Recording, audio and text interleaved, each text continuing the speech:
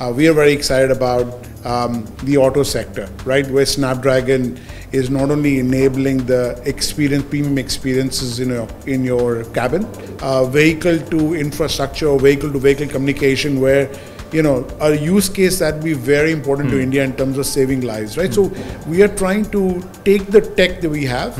Users are very uh, not just tech savvy, but they are you know also wanted to make sure that they get the value for their money. So we're working to make sure that you know we drive the right cross points or price points and the right use cases right? Right. device that's on you or your device that's around you hmm. should be going into the cloud. A, a pretty amazing place where ai is coming down you know waterfalling down into price points. We're even bringing it down to much lower cost now uh, next year you'll see amazing devices that are, uh, are much more uh, than just flagships Hi, this is Danish Khan from Moneycontrol, and we are joined by uh, Savi Soin, the India head, India president of Qualcomm, uh, which is a chipset maker, and uh, we all know Snapdragon chipsets because the, the chipset powers all the smartphones in the market. So, uh, thank you for joining in, Savi. And it is always a pleasure talking to you about the latest technology and what Qualcomm is up to. So, I would like to start this podcast by seeking your views on uh, the Indian market because uh, we are seeing some action on the telecom front, on the handset front, new chipsets are coming in. Uh, so, what is your reading so far? Uh, if you see uh, India as a growth market and is India as a hub for innovation, what, are, what uh, if you could give us some colors on that? So, by the way, thank you very much for, for having us. Uh, always a pleasure. Um, I think, look, we are very excited about the India market, and you can see that in, in not, you can actually see that in our booth today, right? Um, you know, it's showcasing a lot of very interesting innovation that is done. Some of it is done in India, some of it is done globally, but we are showcasing that as as a tech that you know could could leapfrog India in a lot of different verticals, right? Um, we see India, you know, we we've been here in India for 20 years, and a lot of development, innovation has been happening here, not just for India but for the globe. But now we also, I think, very excited about, you know, every industry in India. It seems like it's going through a transformation, right? Uh, we are very excited about um, the auto sector, right, where Snapdragon is not only enabling the experience, premium experiences in your in your cabin, uh, but also connecting, you know, the car to the cloud. Uh, we're working on ADAS specifically for India use cases. We're doing the same thing on two-wheeler. Uh, we've been last year we announced the low-cost 5G, so we're very excited about 5G coming into a mass tier of devices below 10,000 rupees, and now it's you know hmm. well below 8,000 even. Hmm. So we're very excited about India as a as a whole, Right. Um, and that's the reason why we are doubling down and investing hmm. more time and effort and and and making sure that the consumers know who we are and what why it's a premium experience on Snapdragon. Right, right. You, you just mentioned the focus on automobile, but uh, Qualcomm chipsets uh, go into other products like AR, VR, and other IoT products as well. So how are uh, uh, how, how- how is that uh, part of business shaping up in India? Are you seeing more traction from the companies which are entering into those segments? Yeah, I think uh, one of the segments I'm very, very excited about is smart glasses, right? We are seeing, um, you know, we announced our partnership with Lenskart. We are working with other partners as well.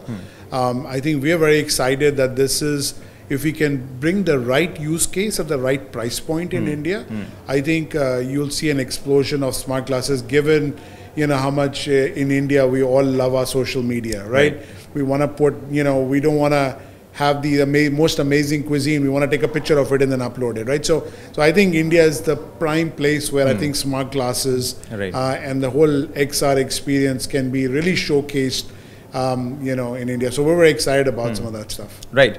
India also has a lot of, I think, four R&D centers that Qualcomm has, and the recent one being Chennai.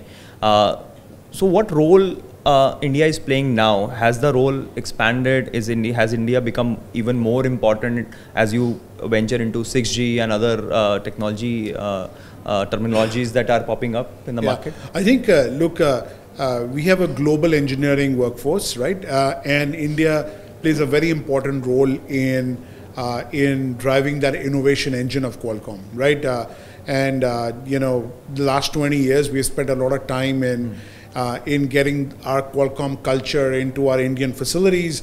Uh, you know, and and now we are very excited about sort of you know the engineers and how they're innovating. Right, I think they are innovating in uh, not just on 6G but also on AI. They're innovating on on multiple fronts. So we're very excited about the talent pool that we have, uh, and uh, and all of the centers are doing leading edge work. Uh, in much collaboration with our folks in San Diego and oth- other places in the globe. So I'm very excited. In fact, uh, you know, we are so excited. If you walk to our booth, uh, they're not manned by just marketing people, right? We actually have engineers that actually work. For example, on the 6G demo, it's somebody that actually worked in the 6G R&D Right. uh, at Qualcomm, right? Uh, is coming here and talking about 6G. You can, so you can actually feel the passion of these people that actually work on the tech.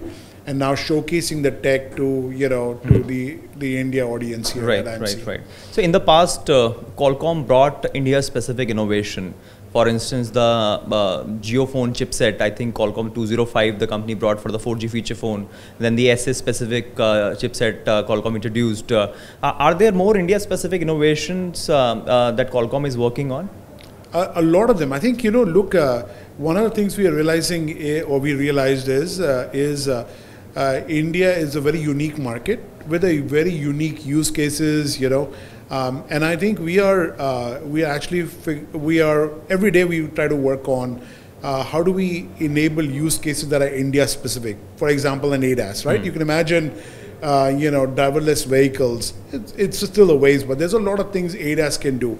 You talk about C-V2X in terms of safety, right? What can we bring in terms of uh, vehicle to infrastructure or vehicle to vehicle communication where you know a use case that would be very important to India in terms of saving lives, right? So we are trying to take the tech that we have and uh, make sure that it has a India, it's solving a problem in India, right?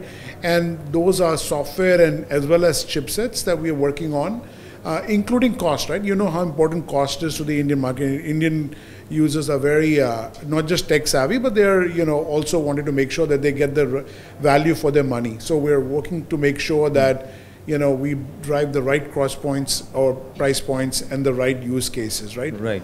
So I think we're very excited. I think that diversity is the other thing that we're very excited about. With all the dialects and languages in India, we have some amazing Indian LLMs that we are showcasing in terms of you could do natural language with a lot of different dialects in India, right? So you can actually, um, you know, work with the Indian diversity. You don't need to have only one language, Right. Hindi or English, to have a company or two languages. But you can have your own region language, talk to your um, air conditioning or your geyser, or you can talk to your PC, you can talk to your phone. So I think the whole multi-mode uh, communication is is very interesting to us. Right. My next ques- que- uh, question is on the policy making. India has several schemes now, and not just one. I think multiple schemes uh, uh, help Qualcomm grow the business. There is a semiconductor mission. Uh, there is a there, there is a PLI scheme for handset. There is a there is a scheme for ECMS now on the component front. So how do you see these developments? Do you think that uh, this is uh, uh, rightly helping the ecosystem and companies like Qualcomm in India? Look, all of these are, are I think, a, a step, absolutely major steps in the right direction, right? Like, let's say, I, I don't want to comment on the policy per se, but for example, I think given the, uh, the workforce that we have in India and the talent and the people that we have in India, I think they, they're going to play a very important role in each of these elements. For example, in the semiconductor, right? We already are, we're working with all the partners. Uh, we have and a very good understanding of when they're going to be ready, when should we uh, intersect given of Qualcomm products. We are also working on uh, helping, uh, mentoring people that are looking to develop semiconductor, fabless semiconductor companies. So it's not about just Qualcomm and Qualcomm having this. We are actually giving back to the community. We are also investing through our ventures in semiconductors. So I think we're doing a lot in semiconductors, and we can't wait for you know um, for some of these uh, um, you know um, reality of some of these fabs that are coming online. Uh, I think on the component front, I think we are very excited that there are more, more component ecosystem coming in India. Uh, I think to the extent in when displays are ready, there's a lot of things that we have done uh, in places like Japan and China Right. to enable um, you know, uh, to to do a lot of things that we could do on on our Snapdragon instead of doing it, uh, you know, on the dis, you know on the display side. So there's things we can do to actually help improve the yield, the quality, all of that stuff. So we're working with, hmm. surprisingly, we'll be working with all the component vendors on how Qualcomm can make that experience much better on a Snapdragon hmm. as partnering with the Indian, dis, you Right. know, Indian component ecosystem. Right. And then on the AI mission, hmm. I think we are very excited. I think one of the things that we've been pushing is the whole edge AI case, right? You can imagine we don't think everything uh, from your device, from your personal device, or from your um, you know, uh, or your device that's on you or your device that's around you should be going into the cloud. So I think one of the things that we are working with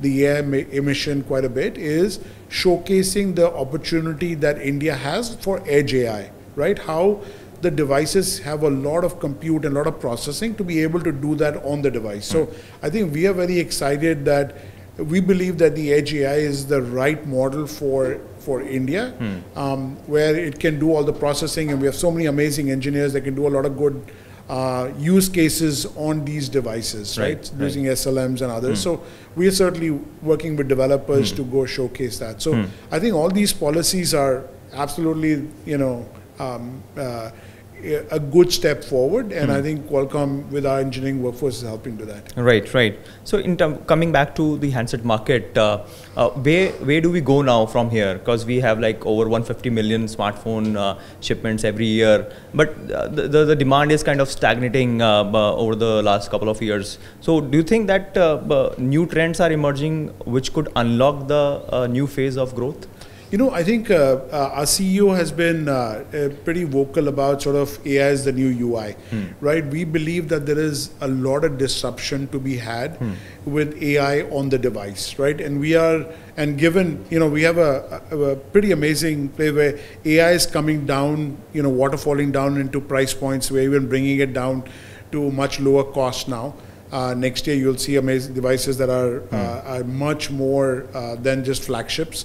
Um, and then I think you will see a lot of different use cases where um, the way you interact with the phone will be quite different, right? Uh, and I think we are very excited that that sort of is the the next G, almost like the next, our CEO calls it the next G moment with AI, where the fundamental way we actually use a device is going to change, uh, and things around us are going to change. So I think we're very excited that that uh, as we bring AI and especially edge AI onto more and more low cost devices, you'll Right. see a plethora of use cases that we're excited about. Right, right. Last question on India's potential. Where do you see Qualcomm uh, uh, India as a as a revenue opportunity uh, with respect to the s- different segments you just mentioned? In, in let, let, let's say next three years, where do you see Qualcomm India reaching?